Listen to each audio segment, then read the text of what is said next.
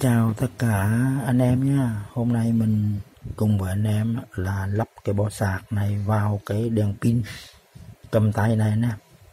Cái đèn này là nguyên của nó, vẫn dùng bình thường, nhưng mà nó sạc điện 220 thôi nhá bằng cái chốt này này, chứ không có cái cổng sạc 5V dùng cục sạc điện thoại cho nên bây giờ mình nghĩ ra cái cách là lắp cái bó sạc mà chỉ mua trên mạng 3k thôi anh em. Quá rẻ.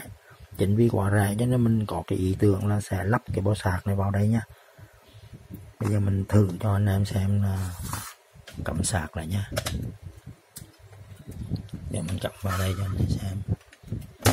Rồi, nó đỏ này nó đang sạc bằng điện nè. Tất cả đi bình thường. Còn mình bật đèn ha đèn bằng sáng ha Đó, đèn bằng sáng bình thường nè. Đèn pin này đèn sáng bình thường nha các anh em. Rồi bây giờ mình rút ra. Ha đẩy cái này vào. Tức là cái cổng sạc 220 này vẫn dùng bình thường nha nhưng mà ý tưởng của mình sẽ là lắp cái này. Bây giờ chúng ta cùng nhau tháo cái này để tiến hành tìm vị trí lắp cái bo này vào cho viên pin nhé. Ở đây có bốn con ốc này, một, hai, ba, bốn này. Cứ vậy mở ra thôi ha.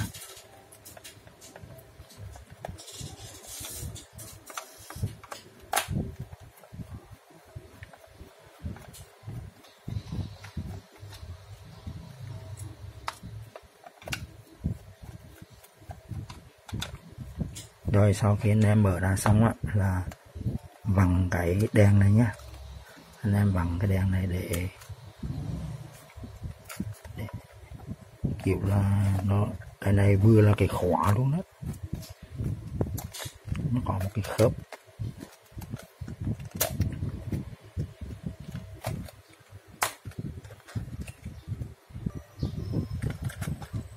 Nó hơi nặng tay thôi. Đó mở ra rồi anh em nha rồi cùng mở cái này ra.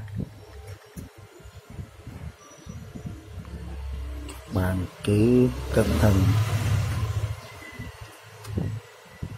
Rồi. À, mình nói một tí là cái viên pin này là mình đã thấy rồi nha anh nhé.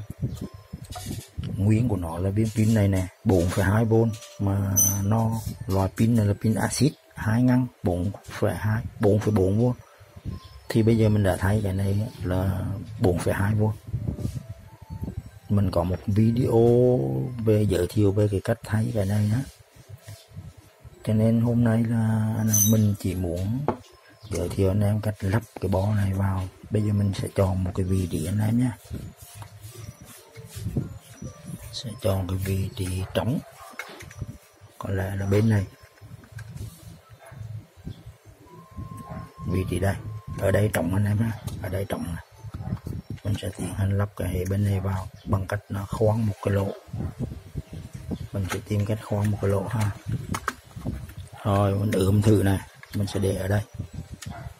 Để bỏ này và câu hai cái dây ở đây có battery trừ này, battery cộng này. Anh em hai câu hai dây battery này vào âm và dương của viên pin này chỉ vậy thôi nha, là xong. Sau đó anh em sẽ đặt cái này vào vị trí thích hợp.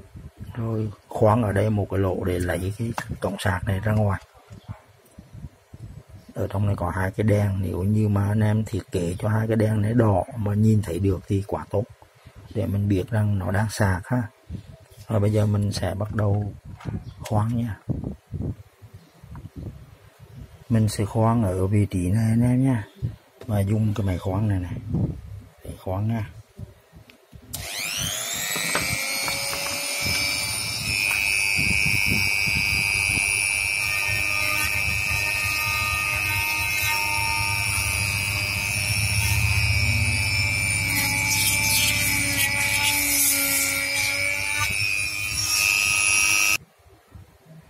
được một khá rồi nè bây giờ ươm thử à, gần tương độ rồi đó.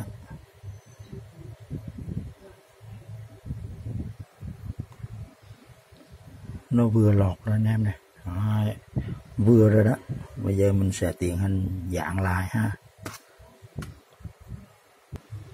Rồi, mình cắm thử cái dây của nó đây này mình cầm thử là được rồi anh em nè. Rồi, bây giờ mình sẽ dạng cố định đó. Dạng bằng keo à, silicon nha. Ổn rồi anh em nha.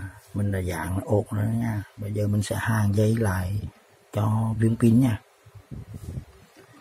rồi mình đã hang xong rồi các bạn nha. Bây giờ mình sẽ cầm điện xem cái này nó thế nào nha.